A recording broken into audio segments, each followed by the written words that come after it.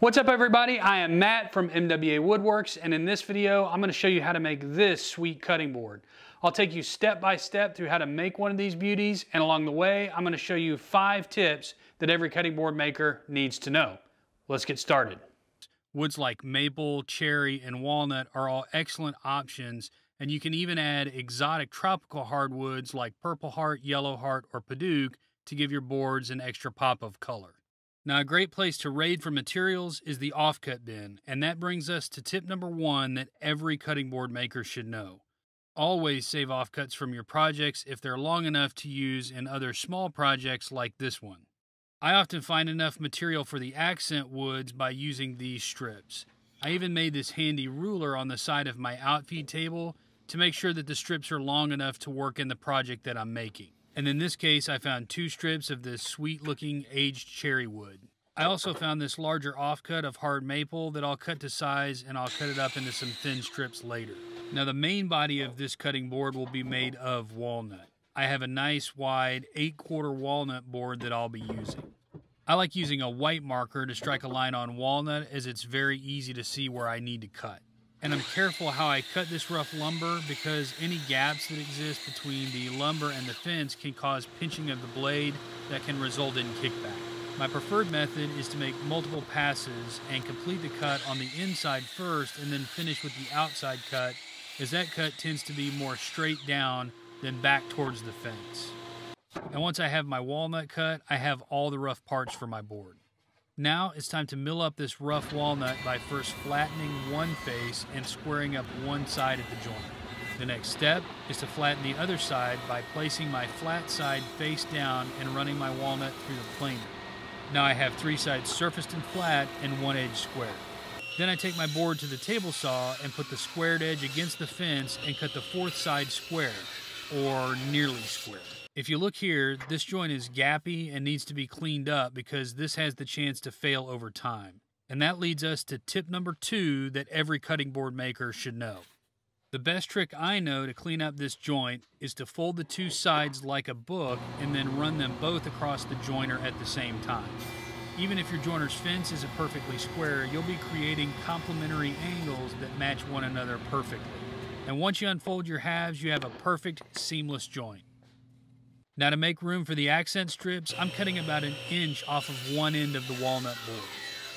I then follow that with a quarter inch strip.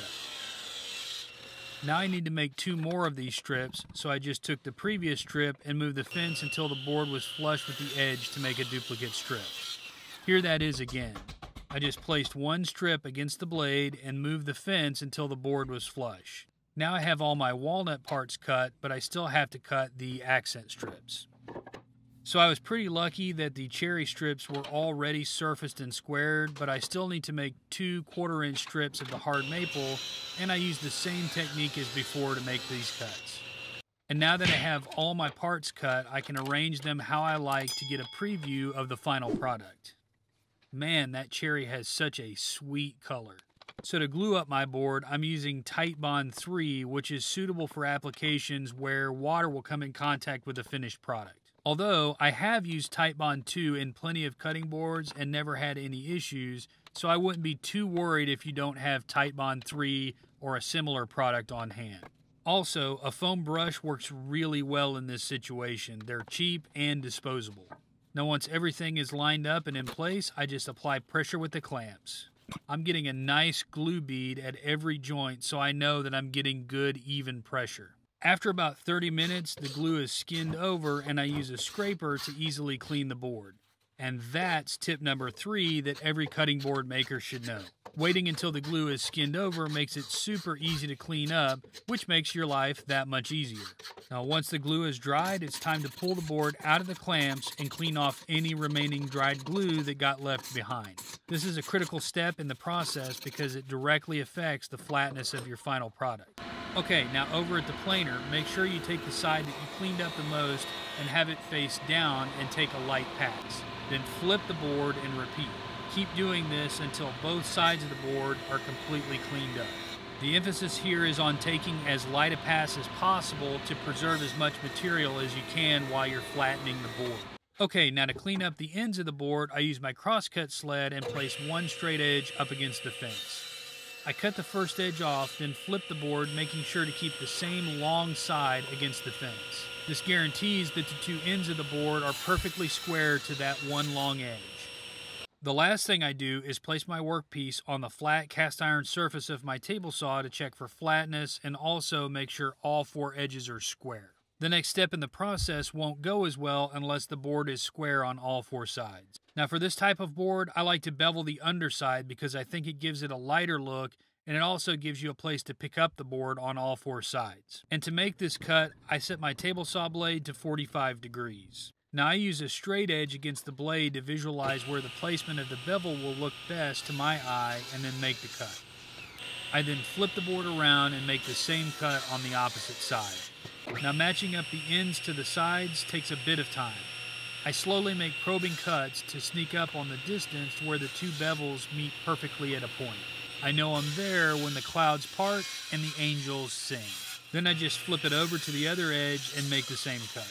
If everything goes right, it should look like this. Alright guys, now we're in the home stretch and it's time to finish this thing off. I sand my boards with 120, 180, and 220 grit sandpaper until it's buttery smooth. Now here's tip number four that every cutting board maker should know. Before sanding with each grit, just mark the board with a pencil like this and sand until the pencil lines are gone and then move on to the next grit. You'll notice that the sanding takes longer with the first grit, but with each successive grit, the pencil lines disappear faster and faster. Now I'm careful when sanding the bevels and the edge of the board to make sure that I maintain those nice angle lines that I created. I don't want to round those over. Now for the next step, I reach for my block plane. I find that taking down the sharp edge around the top of the board this way will reduce chip out that can happen with a router. There's nothing like getting all the way to this point in the project and having a router bit tear a huge chunk right off the top edge of your beautiful work. Oh, and it's also faster and I love making curly shavings.